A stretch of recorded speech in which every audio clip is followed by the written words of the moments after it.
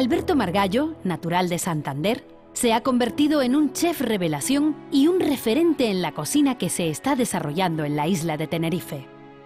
Se encuentra al frente de los fogones del restaurante que abrió hace poco más de un año, justo al lado de la antigua recoba Nuestra Señora de África, con unos planteamientos de cocina de mercado, de calidad, moderna y con una presentación divertida y diferente. San Sebastián 57 consta de dos salas bien diferenciadas, una más informal y propia para compartir los platos y un comedor más tradicional. Margallo conoce las técnicas culinarias que desarrolla con imaginación y defiende la organización de jornadas gastronómicas que dan vida al restaurante con giros en la carta y que aprovecha también para promocionar los vinos canarios. Vive un buen momento profesional y se le aprecia con ganas para seguir elaborando nuevas propuestas culinarias. Premio Dorada Especial para Alberto Margallo.